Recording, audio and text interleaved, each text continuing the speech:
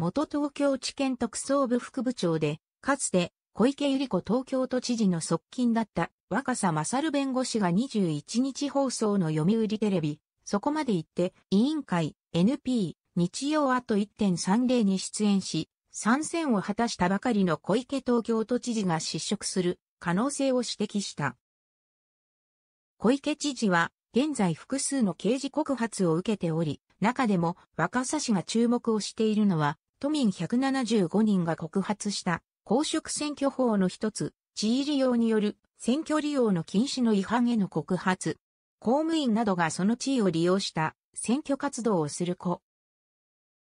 とはできないという公職選挙法で、小池知事は都知事選の前に都内の市長52人から出馬要請を受けたが、一部の市長に出馬要請文を打診した疑いがあるという。若狭氏は私が検察をしていた経験を踏まえて言うと、これに関して証拠が集まって犯罪が認められる可能性はあるのではないかという考えを示した。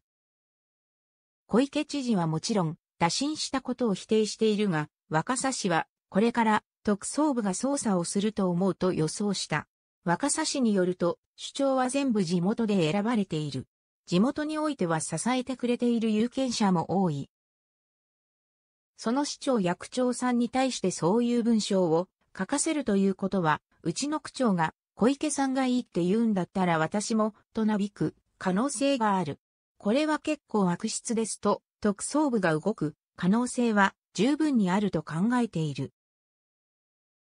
仮に小池都知事が起訴された場合、罰金くらいの罪となっても刑が確定すると、公民権が停止され失職する。ただ、小池さんが最高裁まで争う形になれば、4年以上はかかるので任期は務められるが、国民の世論も高まるので、続けるのが難しいとなるかもと、検察の動きによっては、激震が起こる可能性を指摘していた。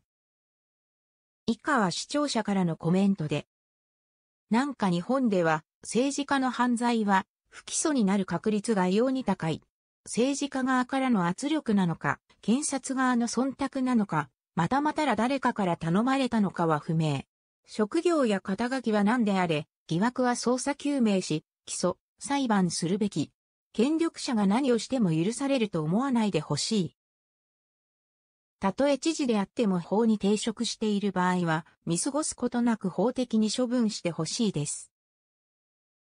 勝手は、特捜部といえば、時の総理大臣、田中角栄を逮捕にまで持っていった部です。今は検察は権力に屈し、腰抜けにたなった気がするのは私だけでしょうか。小池知事は、現在複数の刑事告発を受けており、中でも若狭氏が注目をしているのは、都民175人が告発した公職選挙法の一つ、地位利用による選挙利用の禁止の違反への告発。学歴詐称疑惑について、刑事告発されていることは知っていましたが、地位利用による選挙利用の禁止違反で告発されていることは知らなかったです。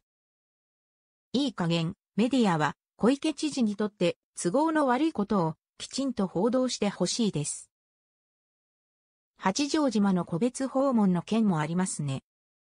先日江東区長が個別訪問で起訴されている。トイレに行っていたと言ってますが付近はトイレがある施設もあり、トイレに30分は長いトイレだけの利用とは思われないし、そのような疑惑を呼ぶ個別訪問は、本来避けるべき。